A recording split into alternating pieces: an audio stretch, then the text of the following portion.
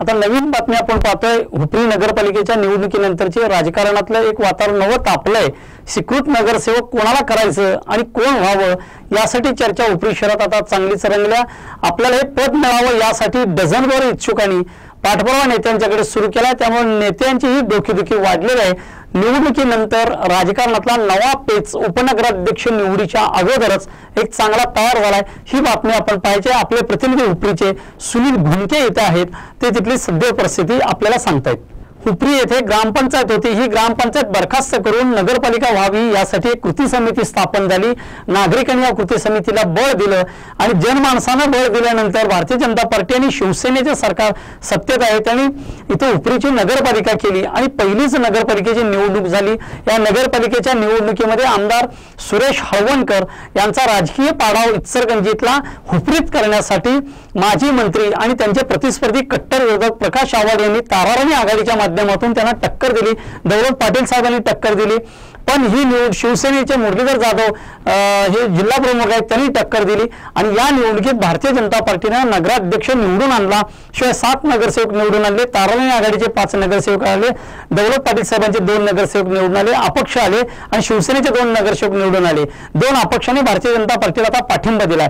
पण तरीही इथली परिस्थिती राजकीयदृष्ट्या त्रिशंकू निर्माण झालेली आहे. सभागृहामध्ये दहाचं बहुमत लागणार आहे. उपनगराध्यक्ष निवडीला दहा लोक लागणार आहेत.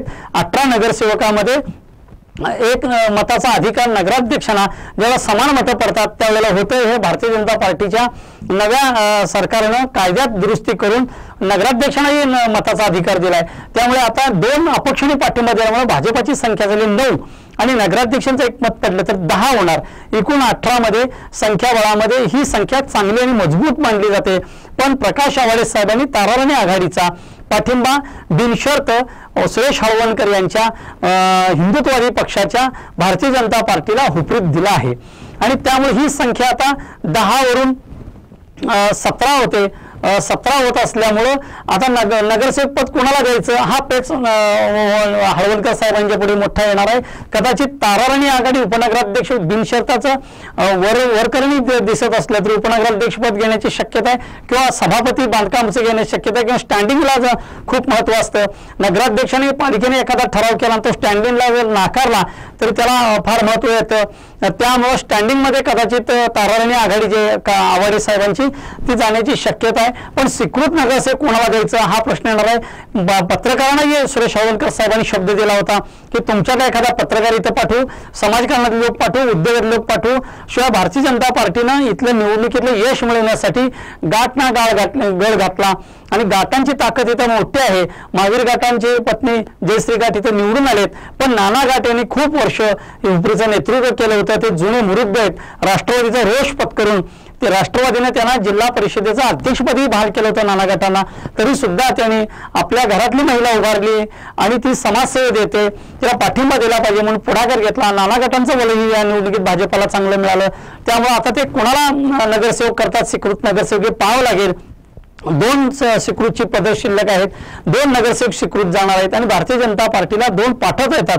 मग ते पत्रकारांना एक देतात उद्योजकांना एखादे पद देतात की पाच वर्षात दहा नगरसेवक ते काढतात. पण दहा नगरसेवक काढल्यामुळं काही लोक गॅसवर राहणार आहेत परत परत आपल्याला पाठ मिळेल म्हणून संधी मिळेल म्हणून पाठीशी राहणार आहेत. हे पाहावं लागेल. पण या पाठिंबाचा जो अनुभव आहे एक वर्ष स्वीकृत नगरसेवक दिल्यानंतरचा ज्याला नगरसेवक पदावरून कमी केलं तो विरोधात जातो ही वजाबाकी होत असते. त्यामुळे भारतीय जनता पार्टीचे नेते सुरेश हळवणकर साहेब हे आता नेमकं काय भूमिका घेतात हे पाहावं लागेल? दोन डझन इच्छुक सध्या तरी शहरात हुपरीत पाहायला मिळतात. हुपरी चांदी नगरी आहे. इथं पैशाची काही कमी नाही. मोठे उद्योग आणि नवीन सुरू होतील असंही मानलं जाते पण स्वीकृतसाठी सध्या जी चढावड सुरू आहे ही चढावड भलतीच आणि मोठी मानली जाते. पाहावं लागेल. कोणाला संधी मिळते? शिवसेनेनं आपला पाठिंबा अद्यापही कोणाला दिला नाही. मुरलीधर जाधव साहेब यांनी दिलेला नाही. कदाचित त्यांच्यावर दोन नगरसेवक आहेत. ते सभागृहात जातात किंवा ते कोणाला पाठवतात का? एखादं कमेंटमेंट करून पाहावं लागेल. पण भारतीय जनता पार्टी शिवसेनेला इथं जवळ करेल असं सध्याचं तरी चित्र मानलं जात नाही. दौलत पाटील साहेब हे इथले नेते आहेत. त्यांना कितपत सुरेश आवळकर साहेब दुखावण्याचा प्रयत्न करतात पाहावं लागेल. कारण मधले जर मधले राजकारणातले चित्र वेगळं झालं लोकसभा विधानसभेला तर पुढच्या काळात सभापती निवडताना असेल किंवा उपनगराध्यक्ष निवडताना असेल स्टँडिंगचा निवडताना असेल चेअरमन निवडताना असेल किंवा आरोग्य बांधकाम समितीचा चेअरमन निवडताना नवीन पेच निर्माण झाले तर त्यावेळेला दौलत पाटील साहेबांचा मदतीचा हा त्यांना घ्यावा लागणार. त्यामुळे त्यांच्यातला एखादा स्वीकृत कोण घेतलं जाते काय पाहावं लागेल. पत्रकारांना नेहमीच भारतीय जनता पार्टीने फसवलं असा आता चर्चा हुपरीमध्ये सुरू आहे. ती खोटी ठरवण्यासाठी हवणकर साहेब काय प्रयत्न करतात पाहावं लागेल. विशेषतः दोन डझन इच्छुक आहेत.